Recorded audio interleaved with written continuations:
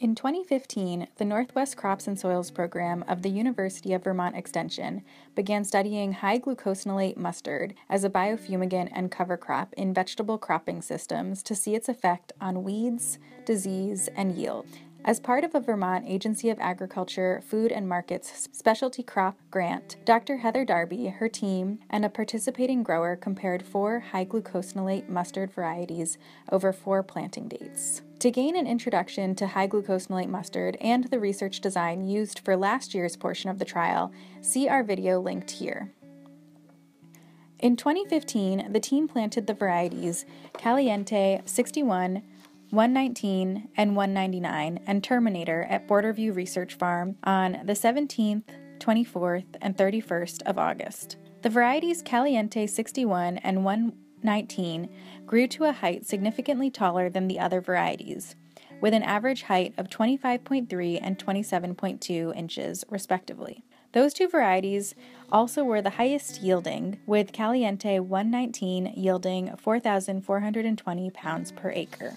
As to be expected, the first planting date of August 17th across all varieties yielded the highest at 4,190 pounds per acre, which was comparable to the second planting date of August 24th, yielding 3,990 pounds per acre. The first planting date also had the greatest height at 35.2 inches. The following season, in 2016, plots were assessed for soil health characteristics weed populations, and subsequent vegetable plantings were assessed for productivity and disease incidence.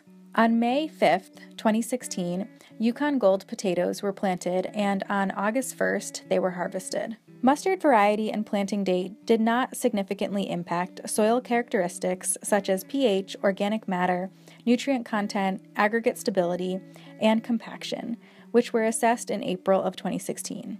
Plots where Caliente 61 were grown showed the lowest incidence rates for potato skin diseases, rhizoctonia, and scab, which is caused by species of streptomyces. Caliente 119 performed comparably well for potato scab. Both mustard variety and planting date did not appear to impact potato yield or weed populations. In 2015, the team planted the varieties Caliente 199 and Terminator at Wolcott, Vermont, on the 31st of July and 17th of August. The varieties did not perform statistically different for height, yield, or nutrient content.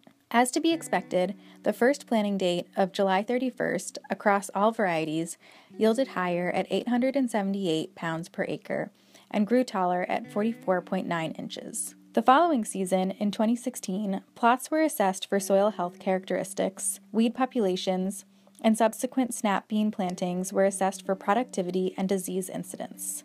On May 27, 2016, we planted the snap bean varieties High Style, which is susceptible to root rot, and Accelerate, which is resistant to root rot. And on August 2nd, they were harvested.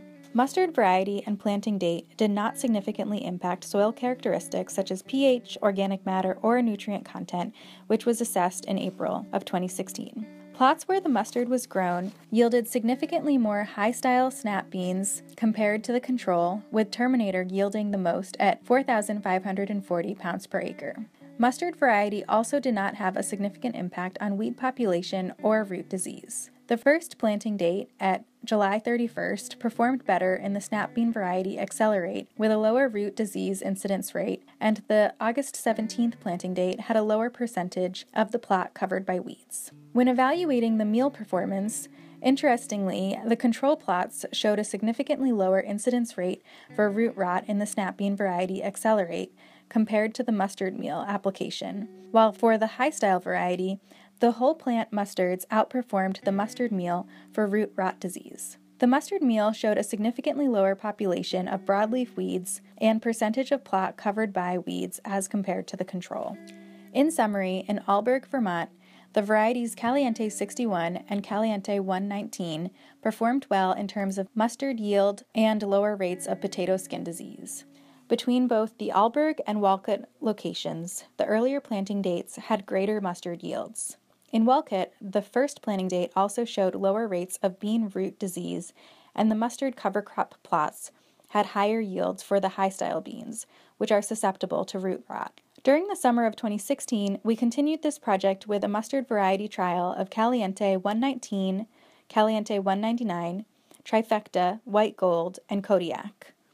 We also began a planting date trial, and as a new aspect of this research, also included a seeding rate trial. In the spring of 2017, we will plant potatoes. For more detailed information on mustard performance, soil health impacts from the mustard, and vegetable performance, refer to our full report at our website shown here.